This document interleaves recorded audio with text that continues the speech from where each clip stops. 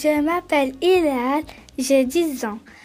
Quelle était la vie scolaire des enfants au Moyen Âge Bonjour Hilal et merci pour ce magnifique dessin qui représente un euh, vraiment très gros château fort euh, du Moyen Âge, hein, euh, compact, solide, mais quand même avec des petits rideaux verts hein, qui rendent le tout un petit peu plus gai. Alors j'ai déjà parlé de l'écriture et du fait qu'une bonne partie des enfants à l'époque ne pouvaient pas aller à l'école, et ça, tu le trouveras par ici. Si tu n'as pas encore vu l'épisode, eh bien, je t'invite à cliquer tout de suite. Pour les enfants qui ne vont pas à l'école, on peut tout de même parler d'enseignement, puisqu'en fait, ça se rapproche de l'apprentissage. Les garçons apprenaient donc le métier de la ferme en s'occupant des cultures et des animaux, et les filles s'initiaient à la couture et à la cuisine. Pour ceux qui avaient la chance d'aller à l'école au Moyen Âge, pendant une longue période c'est l'Église qui éduque les enfants. Très tôt, ils sont envoyés dans des monastères où ils apprennent principalement la religion, la littérature, ainsi que la lecture et l'écriture en latin. Au début du Moyen Âge, les écoles sont souvent situées à la campagne, et les enfants qui rentrent à l'école vers 6 ou 7 ans y sont envoyés en pensionnat et éloignés de leur famille qu'ils ne voient pratiquement jamais. La vie y est parfois très dure, les professeurs sont extrêmement stricts,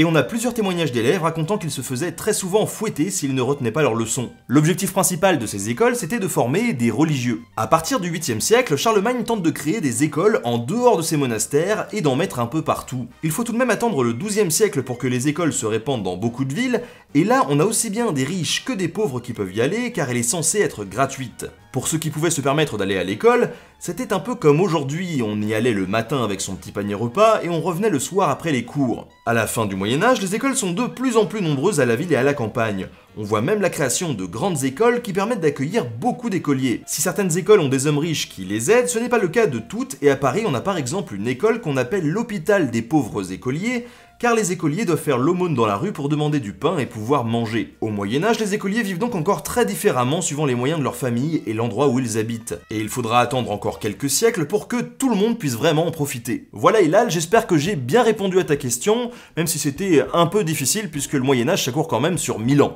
Encore merci pour la question, et n'hésite pas à brancher tes copains s'ils ont envie de m'en poser une. À la prochaine